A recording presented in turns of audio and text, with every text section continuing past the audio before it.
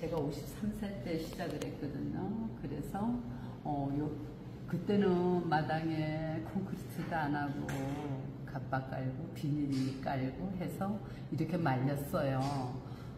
말려가지고는 어, 이거를 다시 이렇게 예, 포장도 하고 이렇게 팔이 이렇게 닳도록 짧아지도록 이렇게 말려서 이렇게 포장을 했어요.